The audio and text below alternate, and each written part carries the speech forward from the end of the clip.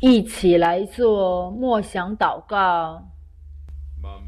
我父，您是万福的泉源，我们相信我父是活着的，我们相信按照我的一举一动，我父如实的返还给我。我父，我们相信只有我父是爱我的，我们相信我父的爱赐予我们财富，我父赐予我们物质上的财富。求我父帮助，使我只爱上帝。使我们在这凌晨得到上帝的帮助，使我在这一生中与上帝同行。求我父帮助，使我认识到最谦卑、最卑微的位置才是属于我的位置。我父啊，当别人藐视我，当别人嘲笑我、瞧不起我的时候，不要觉得这是不好的，反而能让我领受这是上帝给我的声音，是上帝在提醒我，让我赶紧谦卑，放低自己，从中能领受祝福。求我父帮助我，使我领受上帝赐予我的这一切的祝福。奉耶稣的名感谢，先祝福祷告，阿门。在座的各位，进食祷告能帮助我虔诚。那么虔诚的人，虔诚的人才是真实的为人呀。人一定要虔诚、圣洁。当我虔诚了、圣洁了，才能顺从上帝的话语呀。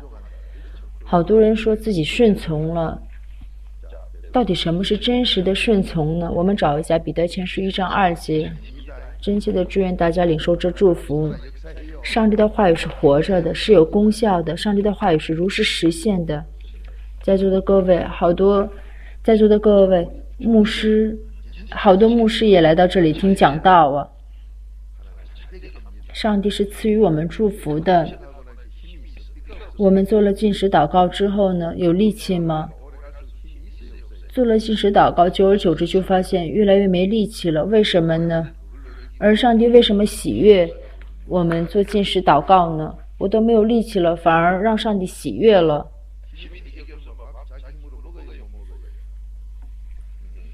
我们人没有力气了，这时候吃饭都靠不住自己。这就是进食祷告，没有一件事情是能靠得自己，没有，无论大事小事都不是靠自己，全要投靠主的帮助。这就是进食祷告啊！人没力气了，上个洗手间都要投靠其他人的帮助。我们做进食祷告，就是要承认，无论大事小事，全要投靠主的帮助。每个凌晨是谁在帮助我呢？诗篇四十六篇五节，诗篇四十六篇五节，只有上帝是帮助我的。每个凌晨，上帝帮助我，所以每个凌晨我们都要得到上帝的帮助，这时候才能过好这一天。那每个凌晨，我怎样才能得到上帝的帮助呢？按照由着自己性子来，按照自己的想法来做的时候，是得不到上帝的帮助的。提摩太前书六章九节，投靠自己，按照自己的想法来做事的时候，一定是失败的。但是，把所有的事情交给上帝的时候，才能活呀。箴言三章六节，按照我的想法，按照我的理论，由着自己的性子来做事的时候，一定是失败的。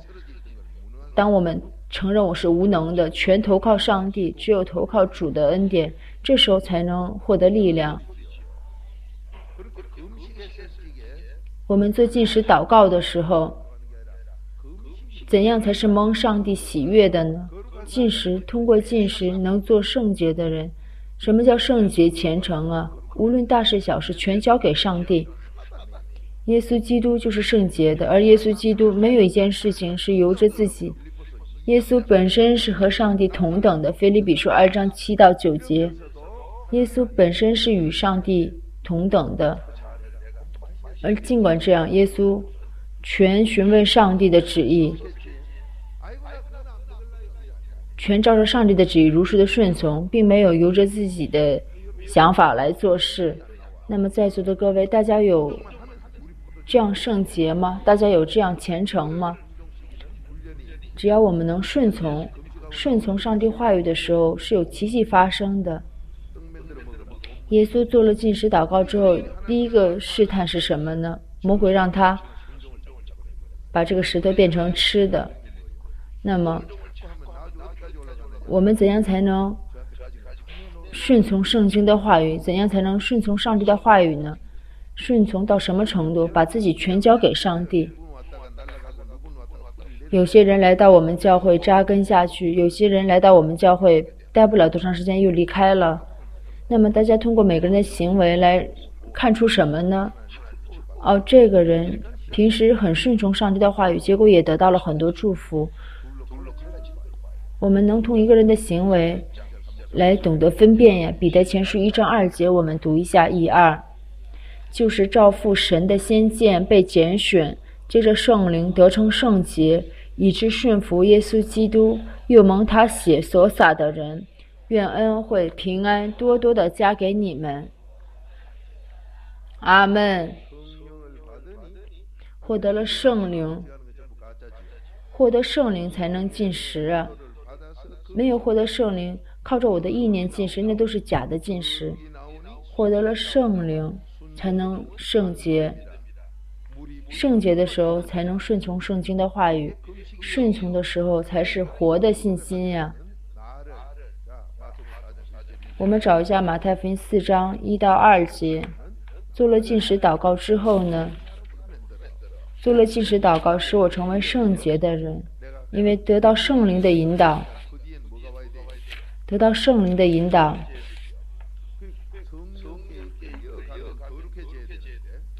得到圣灵的引导，就要圣洁，就要虔诚。我的身体做了进食了，身体就逐渐没有力气了，自己的想法理论全瓦解掉了。我们做进食祷告了之后呢，想搞淫乱的力气都没了。好多人说：“哎呀，我总被淫乱的魔鬼所困住。”但是做做进食祷告做一个月了，淫乱的想法、淫乱的心思，想有都做不到啊。比如说，哎呀，我总有偷东西的这种的不好的习惯。做进食祷告有一个月时间的话，这偷东西，想偷，因为都没力气，想偷都偷不到。但当然了，这进食祷告不是来模仿的。好多人做进食祷告，为什么在途中就死去了呢？那都是因为没有获得圣灵，光靠自己的意念做进食。我们做进食祷告是要获得圣灵，领受了圣灵才能做进食祷告。进食祷告不是光装模作样、摆摆样子，或者是说要模仿的。马太福音四章一到二节，我们读一下一二。当时耶稣被圣灵引到旷野，受魔鬼的试探，他进食四十昼夜，后来就饿了。阿门。要被圣灵引导才能做进食祷告。一个人领受了圣灵，才能做进食祷告啊。那做了进食祷告之后呢？做了进食祷告之后呢，就能圣洁。做了进食祷告了，那么我是否成了圣洁的呢？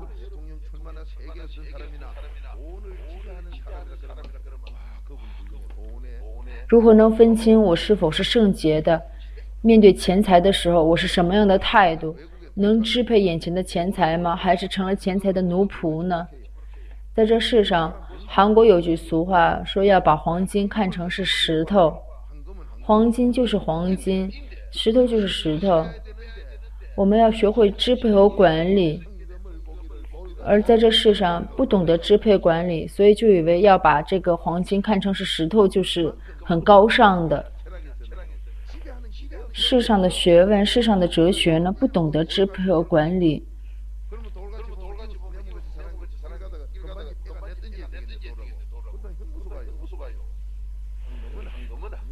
黄金就是黄金，石头就是石头啊。那黄金财富再多，要懂得支配和管理。好多人。光喊口号说要把黄金看成石头，那都是因为不懂得支配和管理，所以没办法，就给出一个口号说：“哎呀，把黄金看成是石头吧。”黄金就是黄金，怎么可能把黄金看成是石头吗？我们要学会如何懂得支配这个钱财呢？当今的学问、当今的宗教都不明白这一点。上帝是圣洁的，上帝教导我们如何支配管理一切的钱财。就比如说一辆车，也是要懂得支配和管理。我不懂得管理这辆车的话，就反而成了这辆车的奴仆了。上帝为什么让我们做进食祷告呢？马太分四章四节，马太分四章四节就是教导我们如何支配这个钱财。不仅懂得支配管理钱财，还要懂得支配管理名誉。在这世上，我们人有了钱，有了钱就想有名誉，那钱财和名誉都要懂得管理和支配，不是做钱财奴仆，也不是做名誉的奴仆啊。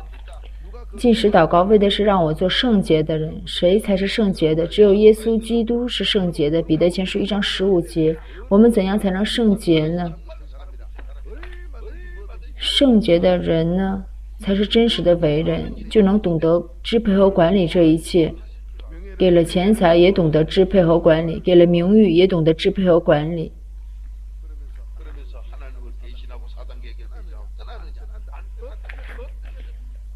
圣洁的人懂得支配和管理，而且是服侍耶稣基督的，不会背叛的。马太福音四章十一节，我们一起来读一下。马太福音四章十一节，我们一起来读一下吧。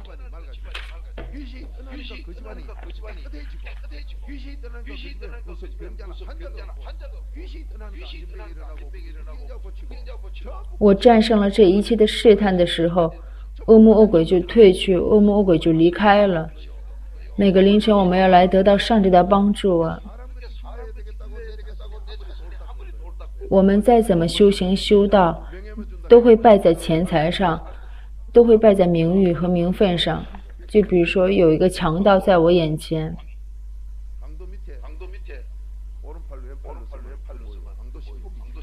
那么这个强盗呢，要使用我做他的一把手，或者是做他的二把手，那么我们就。哎，好的好的，只要给我个名分，我都愿意。这就是大家和我的状态。而上帝使我们做圣洁的人，只要我们成了圣洁的人，就懂得支配管理一切的钱财，也懂得支配管理一切的名誉，只会服侍上帝，不服侍这世俗啊。成了圣洁的人，撒旦魔鬼就不会再侵犯住我。马太福音四章十一节，我们读一下一二。于是。魔鬼离了耶稣，有天使来伺候他。阿门。魔鬼离开，魔鬼离开谁呢？什么是信心？耶稣的耶稣基督住进我的心里了，这才是信心呀！有基督耶稣住进我心里的时候，魔鬼就退去了。约一书三章八节，因我的罪恶。因我有罪，有罪的地方就魔鬼贴进来，所以我们要靠着基督的宝血悔改这一切的罪过，靠着基督的宝血承认我是罪人，求基督的宝血洗净我这一切的罪过。进食祷告，为的是要做圣洁的人，成了圣洁的人就能得到上帝的帮助了。耶稣就是圣洁的，所以我们也要像耶稣一样圣洁。我们找一下彼得前书一章十五节。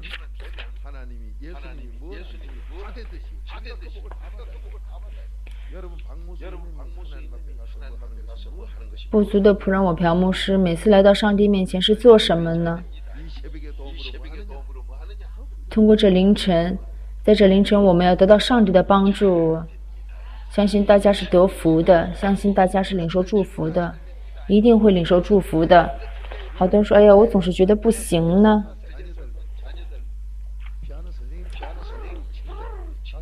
就比如说五六岁的孩子在学钢琴的时候呢。都是叮咚叮咚，就一个音符的弹。那么过了一年，过了两年，就发现这个孩子能弹一首曲子了。我们也一样，我们来到上帝面前，也一定是能行的。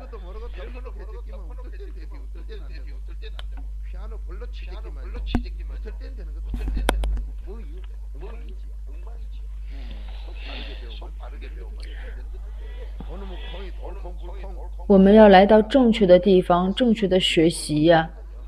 我们要来听的是真实的话语。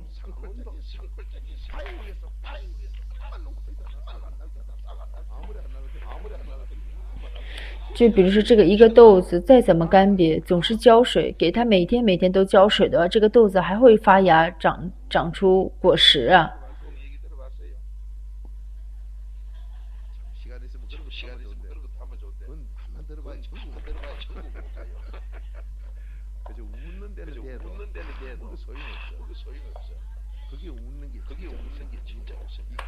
世上的乐子，那不叫真实的喜乐。圣洁才是上帝赐予我的真实的喜乐。我们进食为的是要成为圣洁的人。为什么要圣洁呢？因为耶稣基督是圣洁的，耶稣基督是支配管理世事，耶稣基督是能支配管理世上的一切的。创世纪一章二十六到二十八节，上帝创造我们的时候是按照上帝的形象创造了我们，让我们在这世上懂得支配和管理。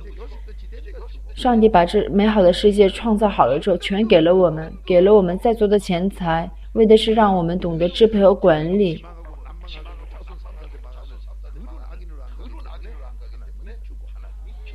并不是说让我们有了钱财就背叛上帝，远离上帝，而我们呢，我们内心不经意间就要离开基督，不经意间就要背叛基督。所以就把自己推向罪恶，把自己推向犯罪了。大家正确的明白过来吧。彼得前书一章十五节，我们一起读一下一二。那招你们的既是圣洁，你们在一切所行的事上也要圣洁。阿门。在所有的事情上，在所有的事情上要圣洁，这就是。当我们进食的时候，那么耶稣来到这世上之后呢，没有一样是按照自己的心愿做的。五饼二鱼奇迹的时候，耶稣也是询问了上帝。无论什么事情，耶稣全询问了上帝的旨意。我们找一下箴言三章六节吧。如果我们能认识到我是无能的，如果我能承认我是无能的，我就全投靠上帝。那有些人说：“哎呀。”这么小的事儿也要询问上帝吗？当然了，大家没有经历过进食吧？真的进食了，就连一点力气都没有了，想站起来自己也站不起来。无论多大的事情还是多小的事情，全要询问上帝的旨意。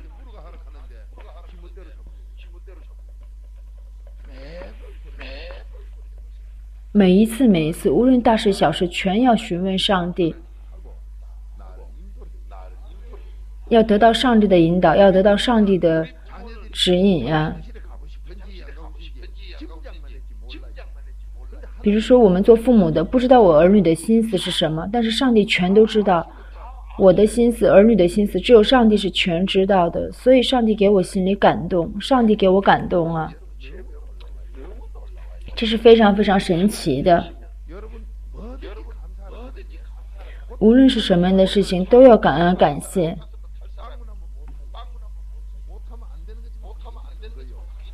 就比如说，我们是不了解自己的，我们以为自己明白，但是什么都不明白。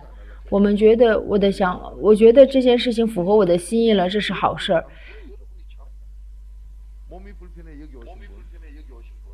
但是这件事情一旦不符合自己心意了，我们就觉得这是不好的事情。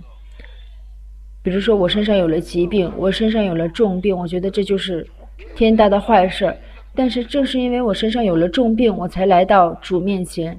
上帝是绝不会害我们的，上帝是爱我们的，所以无论遇到什么样的情况，都感谢上帝，全有上帝的美意的。就比如说我的丈夫退休了，这也感谢呀，这也要感恩感谢。那么在座的各位，大家就说：“哎，这怎么可能感谢呢？没钱赚了，怎么还能感谢呢？又变成钱财的奴仆了吧？我们挣钱，这工资一个月。”也不足几个钱吧，但是我们的心思全在这个钱财上，为了几个工资就却不感谢了，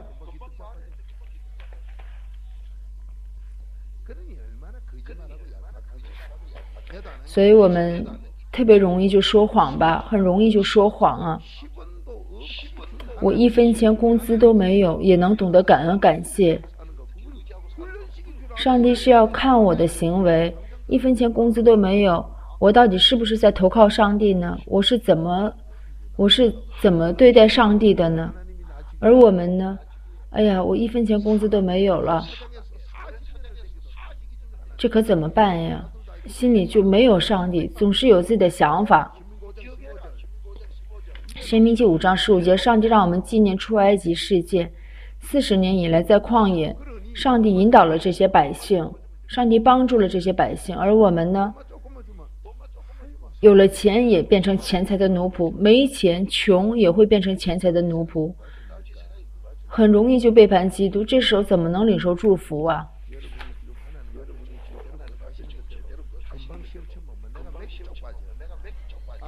我们遇到困难的话，我们遇到困难的时候，我们稍微遇到困难，我们就觉得，哎呀，这可怎么办了？心里从来没有说要投靠上帝。我的行为，我的一举一动呢，就总是按照自己的想法，觉得自己得利益了，就觉得是好事儿，从来不考虑。这到底是不是上帝的旨意呢？这是不是蒙上帝喜悦的事情呢？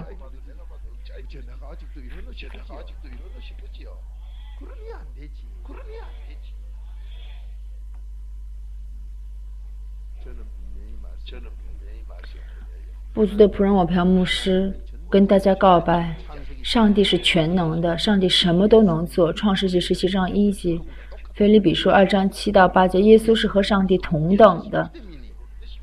而这位耶稣住进我的心里，这就是信心。格林多后书十三章五节，耶稣进入到我心灵里，这时候使我也圣洁，使我也能像耶稣一样圣洁，能顺从圣经的话语，能顺从上帝的话语。顺从的时候才是信心，顺从的时候是有奇迹发生的。约翰福音二章九节，上帝是全能者，耶稣是和上帝同等的。那么我们领受这耶稣的信心的话，我们也能领受这祝福。马太福音十章二十四节，如果牧师去地狱的话，就带领信徒去地狱了；如果站在眼前的牧师是假的牧师的话，就带着所有的信徒去地狱了。马太福音十五章十四节，马太福音二十三章十五节，不做四阶段悔改的时候呢，都是假的讲道。格罗西书二章八节。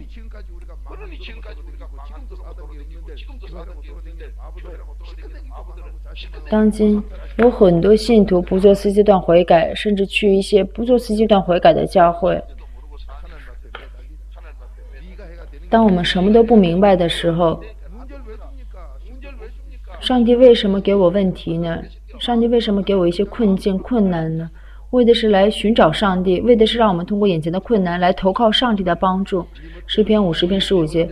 我现在没钱了，我现在贫穷了吗？来投靠上帝吧。我有钱的时候，我是不是为所欲为，很自以为是、自高、自高自傲呢？赶紧来投靠上帝吧。箴言三章六节，我们读一下一二。在你一切所行的事上，都要认定他，他必指引你的路。阿门。无论是什么样的事情，都要认定上帝。我们再来读一遍一二。在你一切所行的事上，都要认定他，他必指引你的路。阿门。这是按照我的想法来随便生活吗？还是要投靠上帝，由上帝来负责呀？由上帝负责我的人生啊！我们做了进食祷告了，我身体一点力气都没有了，这时候只能投靠身边人的帮助，不是由着自己的性子来呀。由着自己性子来，想怎么样就怎么样的时候，一定是失败的。而每件事情来投靠上帝，每一件事情都认定上帝，寻求上帝的帮助的时候，是能得到祝福，能能得到帮助的。千万真切的祝愿大家，千万不要按照自己的性质生活，千万不要按照自己的想法来生活，来投靠上帝的帮助吧。就像我们进食祷告的时候，身体一点力气都没有了，只能投靠上帝的帮助啊。所以，如果我每时每刻只投靠上帝的帮助的时候，就就如同做了进食祷告一样。无论是大事小事，是投靠上帝来寻找上帝的帮助的时候，就是圣洁虔诚的。罗马书四章十七节，无论是大事小事，全交给上帝，全投靠上帝的帮助的时候，是能领受祝福的。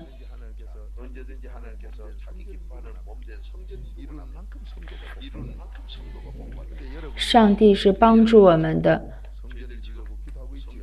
如果我的身体是上帝喜悦的，如果我的内心是上帝所喜悦的，上帝居住的圣殿的话，我们才是上帝所认可的信徒啊！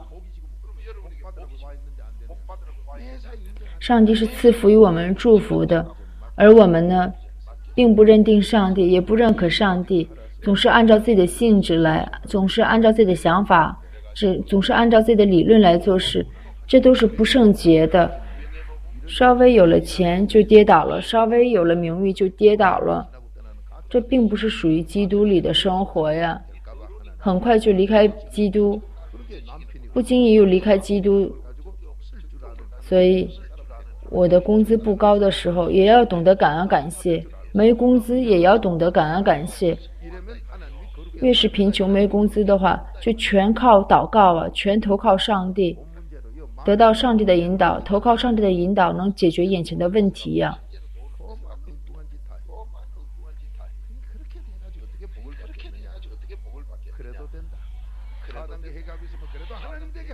只要我们做四阶段悔改，无论遇到什么样的困境，只要做四阶段悔改，上帝使我们能做到这一切。我们一起来祷告吧。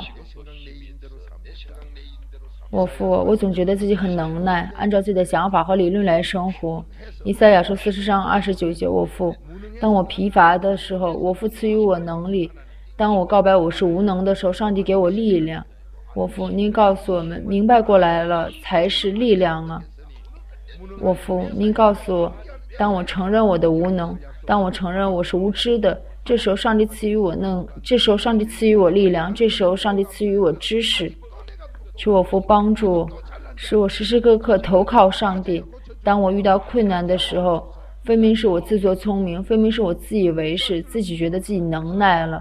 求我父帮助，使我认识到自己的罪过，使我全投靠上帝，无论大的事情还是小的事情。